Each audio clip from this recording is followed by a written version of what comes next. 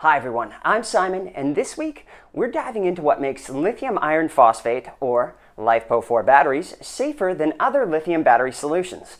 LiFePO4 batteries are known for their strong safety profile, the result of extremely stable chemistry.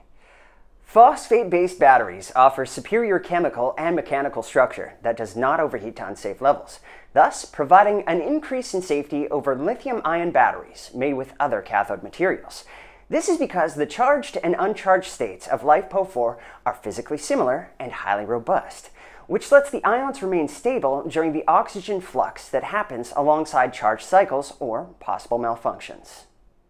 Overall, the iron phosphate oxide bond is stronger than the cobalt oxide bond, so when the battery is overcharged or subject to physical damage, then the phosphate oxide bond remains structurally stable, whereas in other lithium chemistries, the bonds begin breaking down and releasing excessive heat, which eventually leads to thermal runaway. Lithium phosphate cells are incombustible, which is an important feature in the event of mishandling during charging or discharging. They can also withstand harsh conditions, be it freezing cold, scorching heat, or rough terrain.